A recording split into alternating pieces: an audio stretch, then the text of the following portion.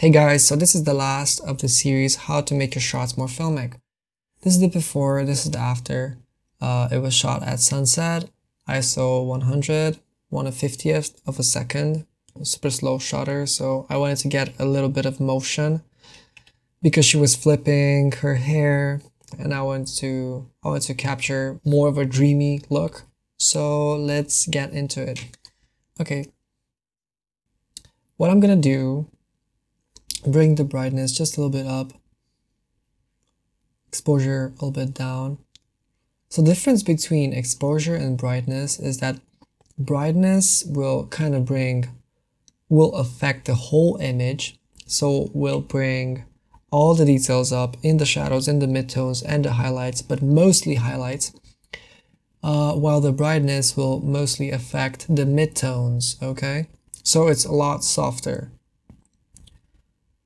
Good. Um, I'm gonna bring the brightness a little bit up, contrast a little bit down, mm, shadows just a little bit up, uh, down, white point down, and maybe a little bit more of that black down.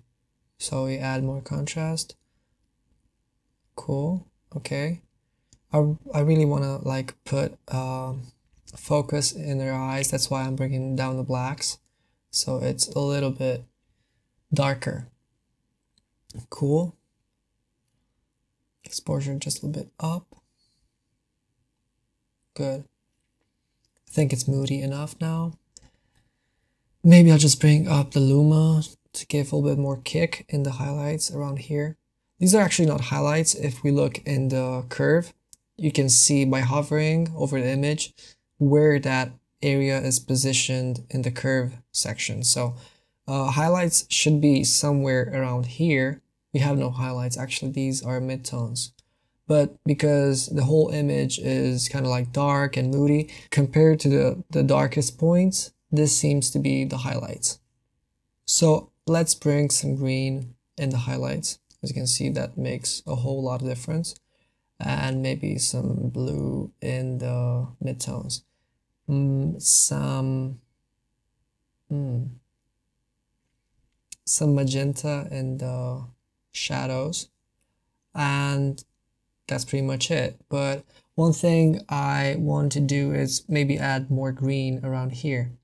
Also, maybe make her skin tone more yellow. Cool. So let's go into color editor, press the three dots. As we can see, uh, the red channel is, is controlling uh, most of the colors around here. So that's what I'm looking for actually. Maybe a little bit of orange as well. So what I want to do is just add more, more green, let's say, to that part, just like so. So I don't think I will be needing this anymore yeah, this is the before, this is the after. Super fast, super simple. Let's add some grain, silver rich grain. Let's zoom in a little bit. Yeah, I think that's pretty much maybe a little bit more. Cool. Okay, so this is pretty much it. As I promised, I will export each of these looks as presets and leave them in a link below for you to download. One thing to notice though is that no presets will work for all photos, meaning that each image has different colors and is shot at different exposures. So what I will do, besides the preset name, I will include exposure level they're supposed to be taken at and the kind of light they have been shot at. In this way, it will be easier for you to choose the right preset for your photos.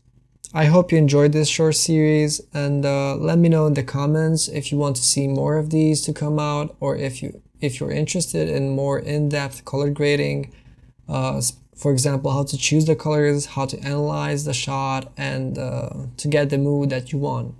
Don't forget to subscribe like and follow me on social media if you're interested in my latest projects. See ya